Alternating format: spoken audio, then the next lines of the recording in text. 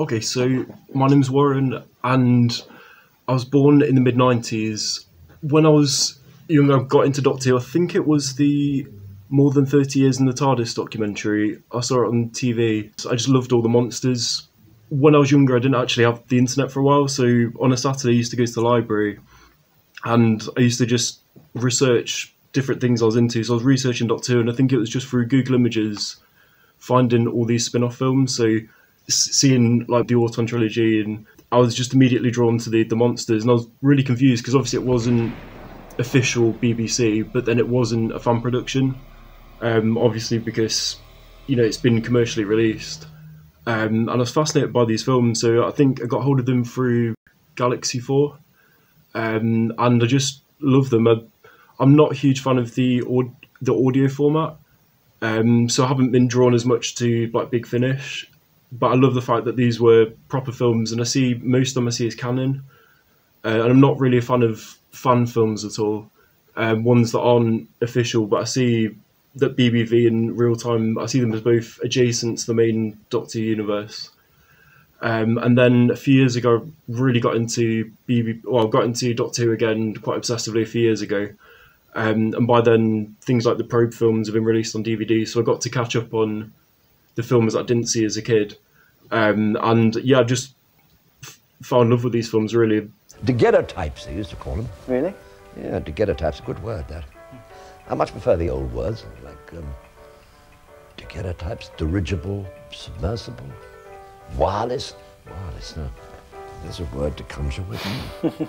In some ways, I prefer them to the new series, especially with BBV. You can, there's less limits. You can break the fourth wall with, you know, the the comedies like Do you have a license to save this planet? Just really, really interesting films, and they're so diverse as well. Hello? It's for you. Tell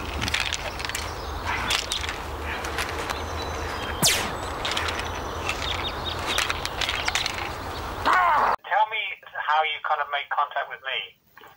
Um, stalking you on social media.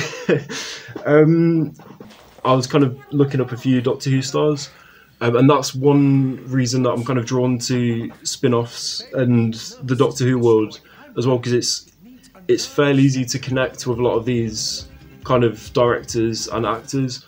If I did a um, like a, a, drawing of Spider-Man, like Kevin Feige from Marvel is probably never going to see it, and Tom Holland's probably never going to see it. But in the Doctor Who world, there's certain cases where you can kind of get your fan art you can get the actual actors or the actual um, directors to see them. So I found Bill Baggs on social media, and um, I kind of was sending him these different drawings that I've done, um, and he was um, really, really supportive. Um, made some really nice comments about it, and that's really encouraging. Like, I don't do it for feedback or anything, but it's really, really lovely when when that happens. So I did some Reeltime art um, and that was the first. I think it's called rotoscoping this technique, uh, which is just tracing over photographs, but then allowing allowing you to customize it as well.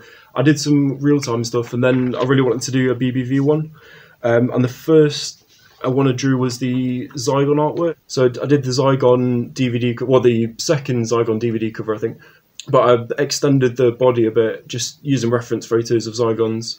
Then I drew Giles from Probe When to Die, um, and then the Auton. And very recently, I've just drawn the Auton nesting sphere and the daffodil as well. So I'm trying to map out the BBV universe like obsessively.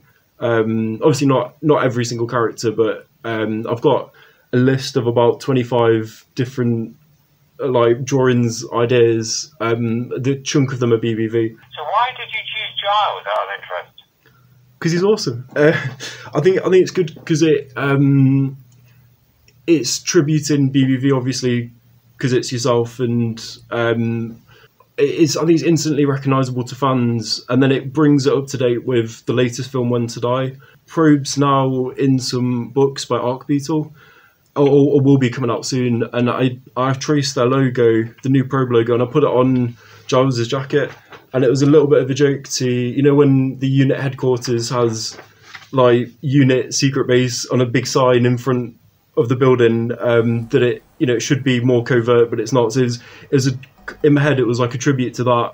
Um, my dream would be um, to do an animation, the kind of flash animation style that's in the when they reanimate the um, missing episodes. If anyone out there is interested in working on a fan animation, it's something I'd, I'd love to do. How did you get from artwork to figurines? I became really interested in making figures that don't exist already or aren't commercially available. So I made some Reeltime models. Like I made the uh, clay sculpture of the gargoyle from Deimos Rising, and then I wanted to make some BBV ones. Some of them I haven't made myself. Um, I was on a Cybermen group on um, on social media and uh, saw someone had made a Cyberon figure, and that was a chap called James Lee who I met um, at the SIL premiere um, in November last year, um, and he'd custom printed a Cyberon figure, and I was absolutely blown away by it. So I messaged messaged him and said, you know, I'd love to buy one. Absolutely love this.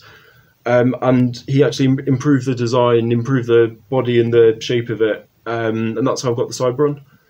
Um, and then he took the character options figure of the Foot Doctor, so the character options figure of the Seventh Doctor, made it into a Foot Doctor, um, and he also made the uh, console of the the Chiropodist as well. Um, so I made the in memory loan robot out of paper.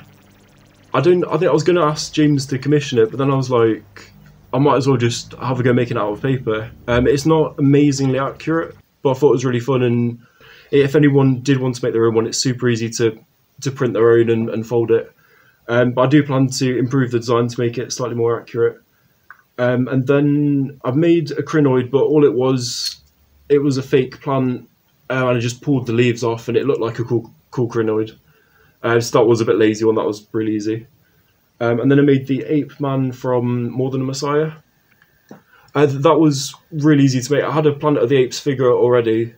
Um, I think I was I was watching the film, and then I saw the ape the ape person, and then I was thinking I've got that Planet of the Apes figure, and then the costume looked fairly easy to make. So I looked around the house looking for the that sort of material that um, sort of like the potato sack kind of material, and I think I found like a bag for life and just cut a square out of it. And yeah, I think that one's quite effective. I added some toy fire that I had from a, a Marvel toy. Um, I think that one looks pretty cool. And then coincidentally, ages ago, someone gave me a shell um, just randomly, and it was like the perfect shell to paint green for the the shell that's in more than more than a Messiah. So yeah, I just painted that green. I think that looks really effective as well. That little shell. Which is your favourite BBV product? Do, do you prefer the probes or the, the earlier one? My favourite one is definitely the Devil of Winterborne, um, and I think it probably doesn't sound good, but I'm a big fan of like the Satanism kind of genre.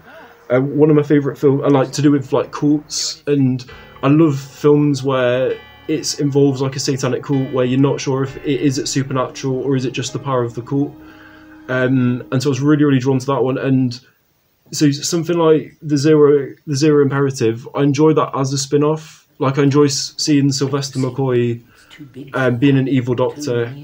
I love, but I, I kind of just enjoy that ma- mainly for the references and for the Who aspect of it. Like I love the the newspaper with Inferno and the Brigadier on it. That's that's awesome.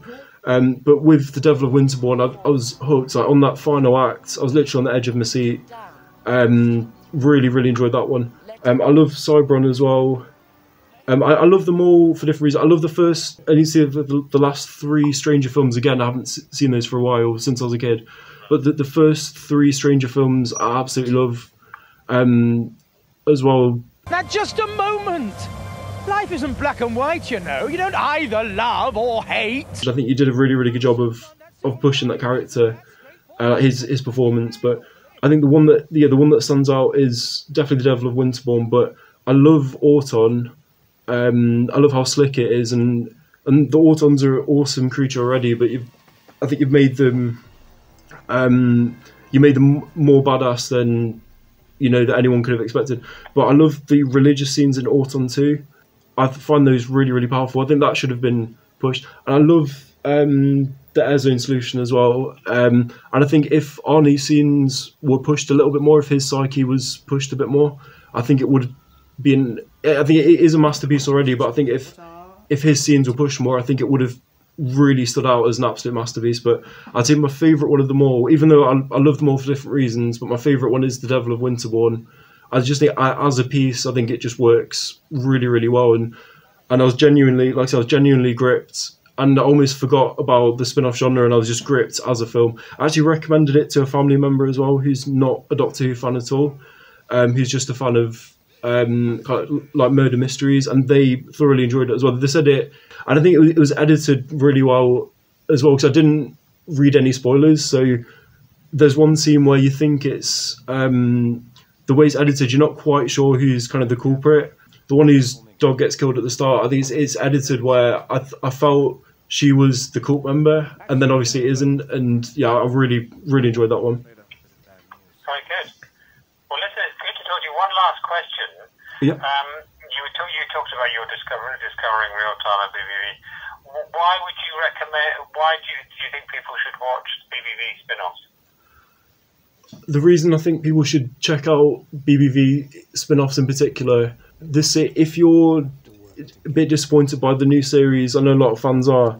There's a whole world of films out there which isn't that well known, which can be enjoyed. And if you want that classic vibe, a lot of the films have that classic vibe and have obviously the classic stars, um, but they push things in different areas that the series can't, in more adult themes uh, and there's no limits like the TV series has, um, and they're so diverse as well. So I think, yeah, if you if you're a fan of Doctor Who in particular, um, and the new series isn't doing it for you, or you- you're after other things as well, and if you're not a huge fan of the audio format, I think there's a whole world of films that are worth checking out.